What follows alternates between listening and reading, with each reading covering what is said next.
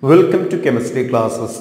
In this video we are going to study here atoms and molecules. Atoms and molecules CBSE grade 9 chapter 3 atoms and molecules.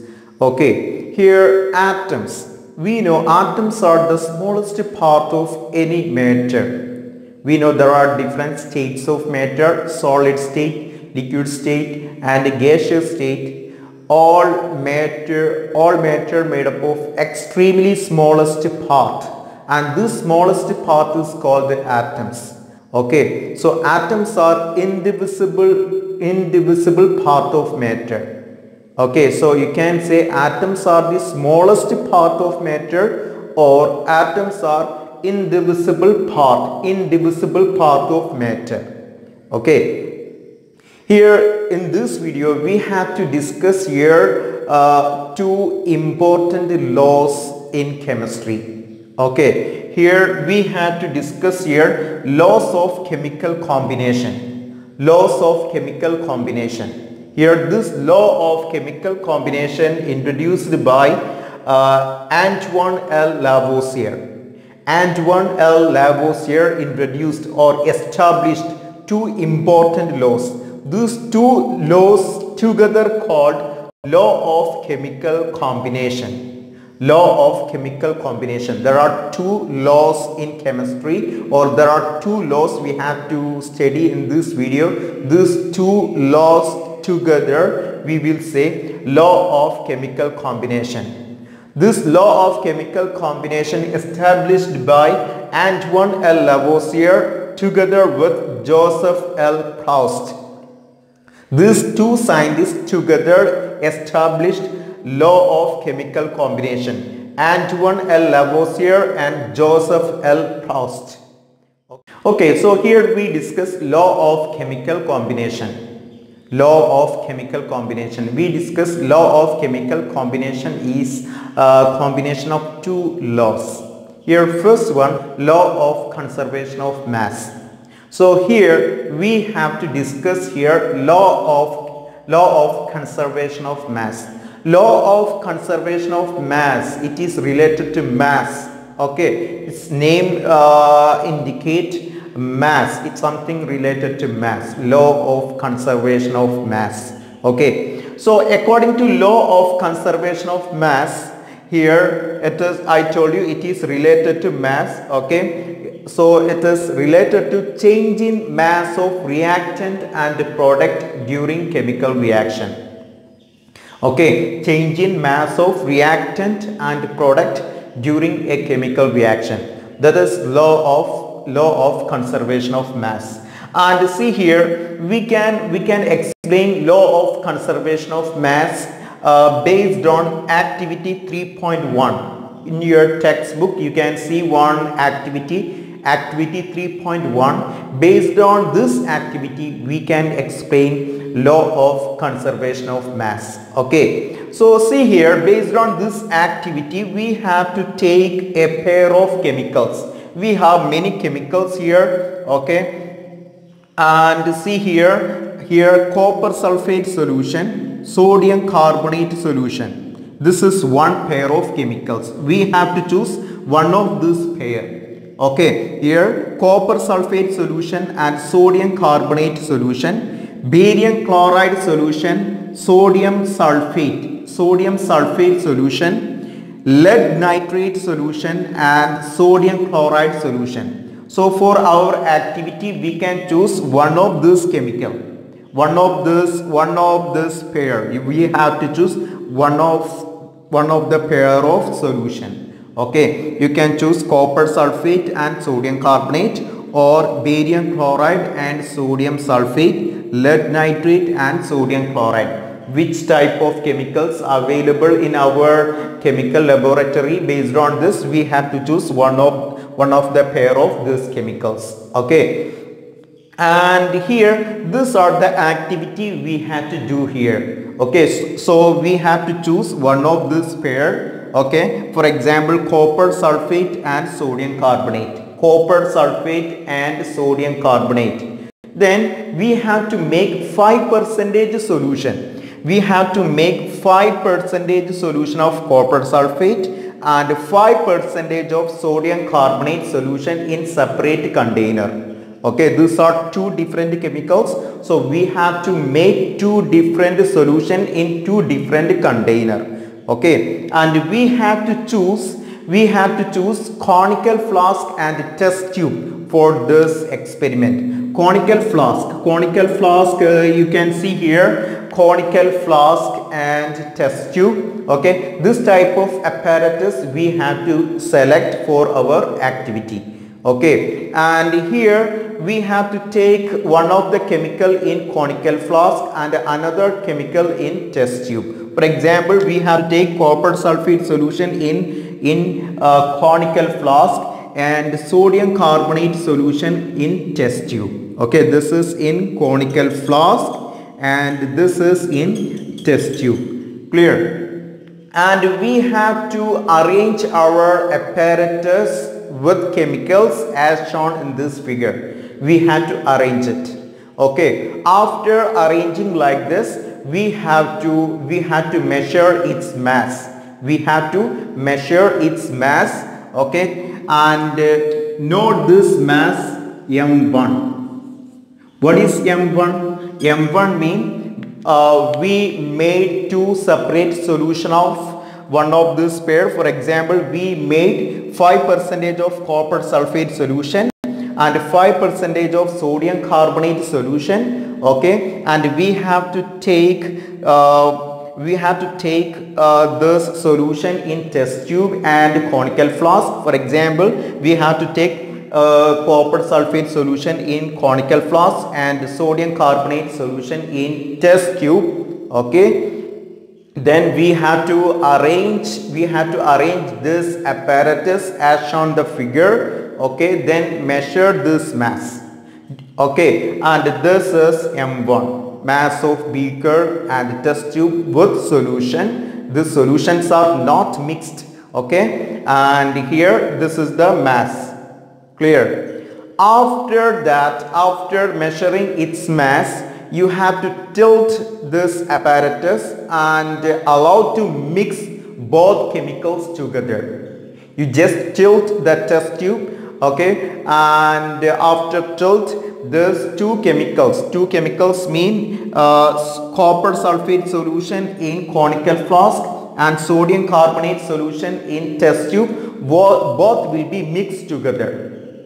After mixing together there will be a chemical reaction after after chemical reaction after few minutes you have to measure its mass after mixing after mixing this together there will be chemical reaction. After chemical reaction we have to measure its mass again. That is m2 okay m1 means mass before chemical reaction m2 mass after chemical reaction so you can observe here during this experiment you can observe here m1 will be equal to m2 okay m1 equal to m2 so what what is the meaning of this? Here mass of reactant mass of copper sulfate and sodium carbonate solution before chemical reaction and after chemical reaction same. Mass of reactant and mass of product same there is no change.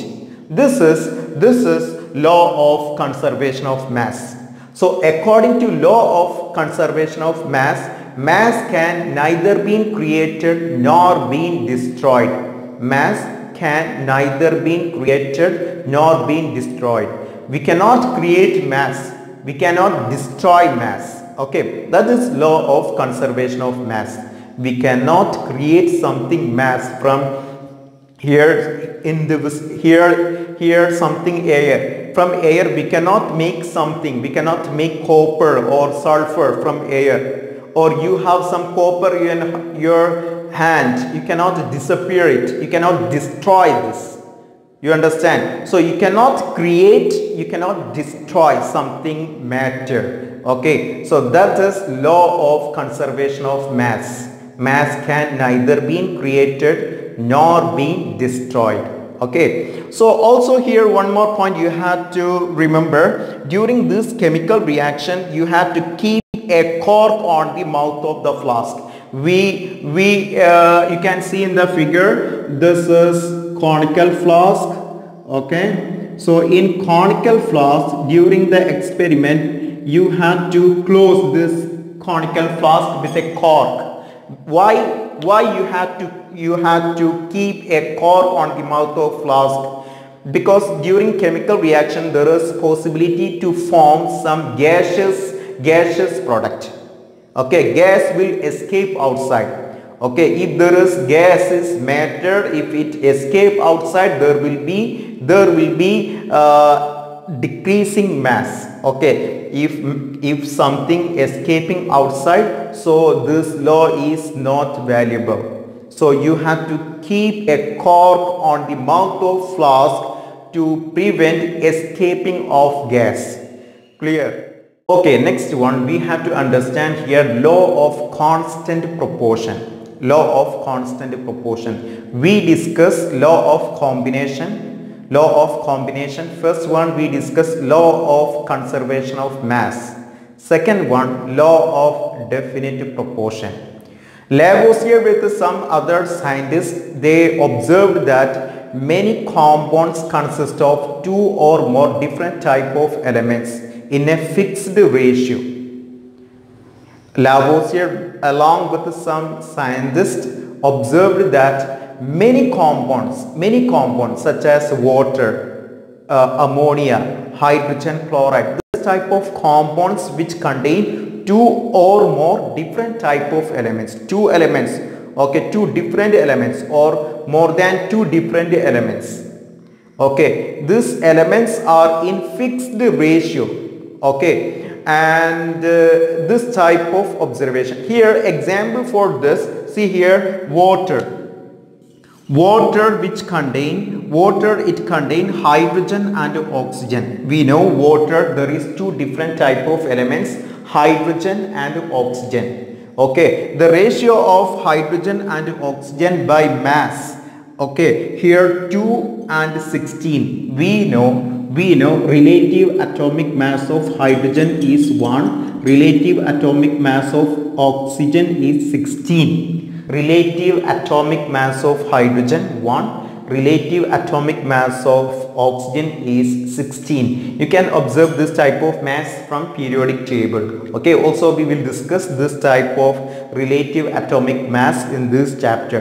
Clear? So see here. So here mass of hydrogen 1 okay here H2 2 hydrogen. So here mass of hydrogen 2 and here oxygen 16 so the ratio of mass of hydrogen and oxygen 2 is to 16 2 is to 16 you can simplify this okay? So when you simplify this to 16 you can simplify so it will be 1 is to 2 so this is the mass ratio of mass ratio of hydrogen and oxygen in in water okay you know you know there are different source of water water the source of water water obtained from uh, rain rain water okay uh, pond water river water sea water. So we have different type of source for water. Also also you can you can make water after reacting hydrogen and oxygen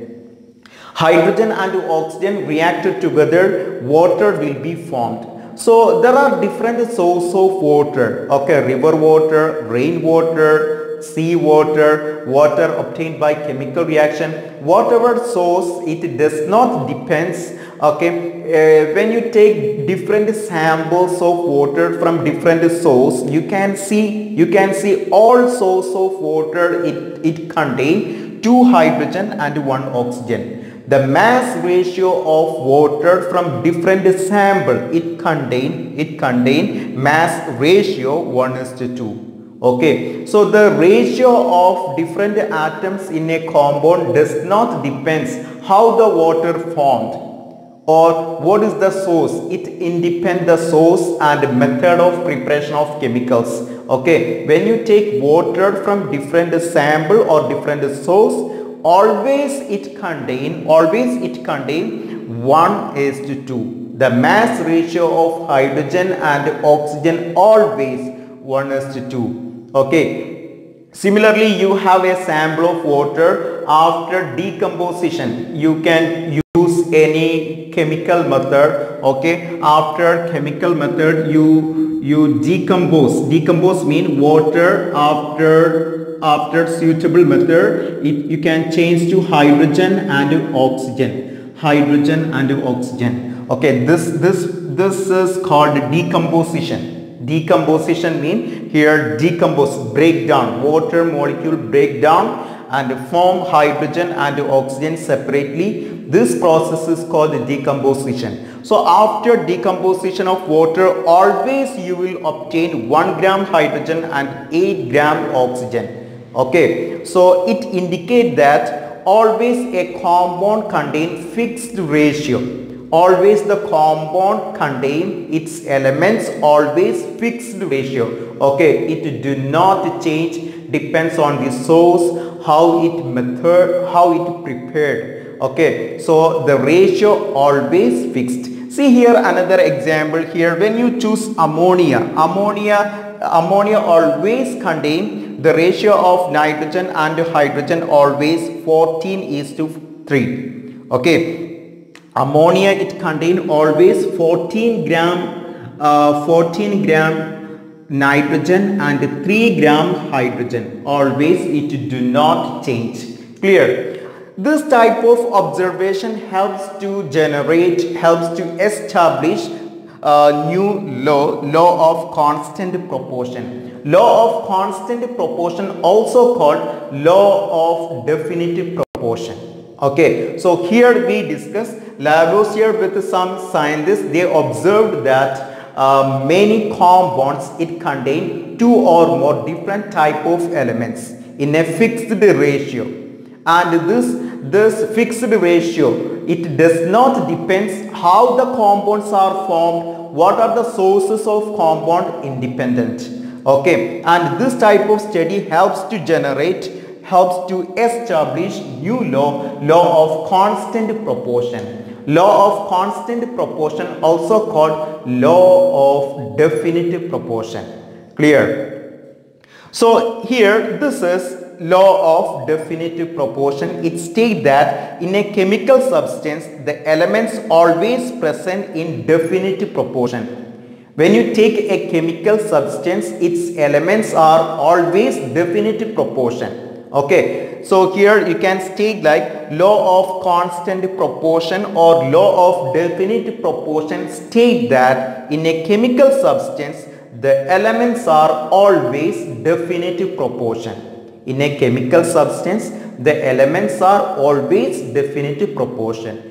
Clear. Next one we have to discuss here Dalton's atomic theory. Dalton's atomic theory. British chemist John Dalton established Dalton's atomic theory. Dalton's atomic theory based on law of chemical combination. We discuss law of chemical combination. Okay, so Dalton's atomic theory based on uh, law of chemical combination. Dalton's atomic theory helps to explain helps, helps to explain law of conservation of mass and law of definite proportion. Clear? Okay, next one we have to discuss here postulates of Dalton's atomic theory.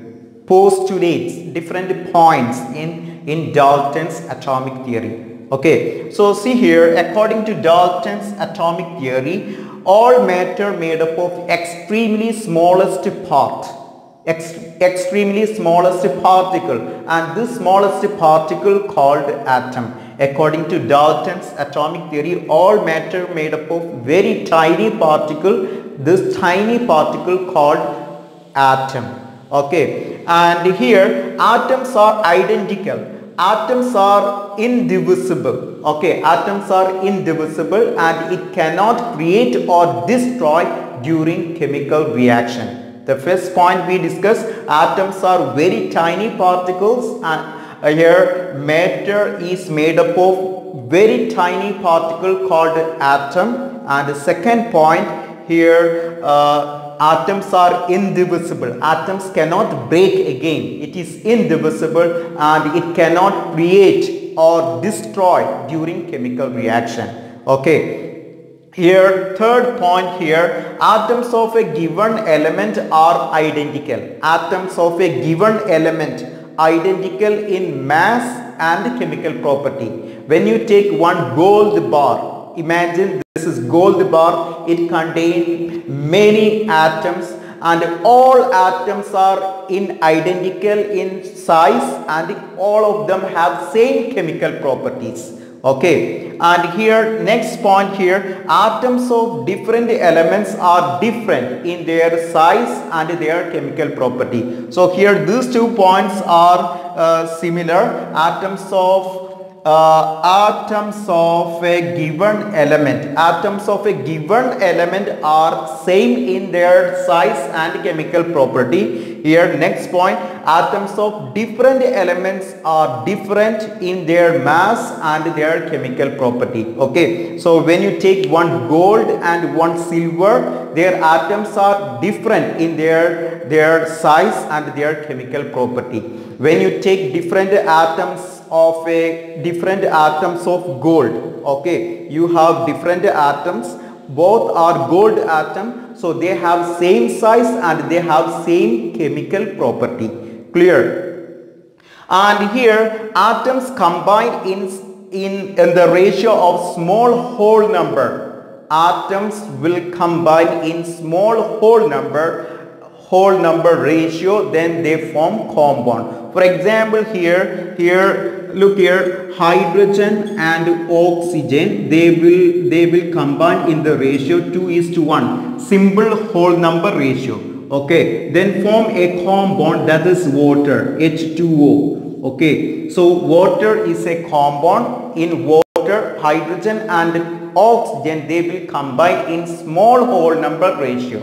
Small whole number ratio 2 is to 1 okay that is the point saying here atoms combine in the in the ratio of small whole number to form a compound clear? Here last point here the relative number and kinds of atom in a compound always constant. The relative number and kinds of atoms are constant in a given compound i told you before you can take water from different source rainwater, river water or water obtained by chemical reaction between oxygen and hydrogen, you have different samples of water. But all water sample or all water compound contain same number of hydrogen and oxygen also also same kind of atoms okay all water sample contain same number of atoms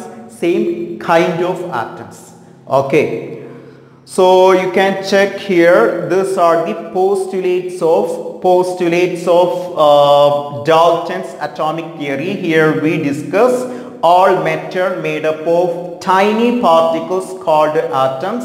Atoms are indivisible particle. It cannot create or destroy during chemical reaction okay? Atoms of a given element identical in mass and chemical property. Atoms of different elements are different in their mass and chemical property. Okay? And atoms combine in in the ratio of small whole number to form compound.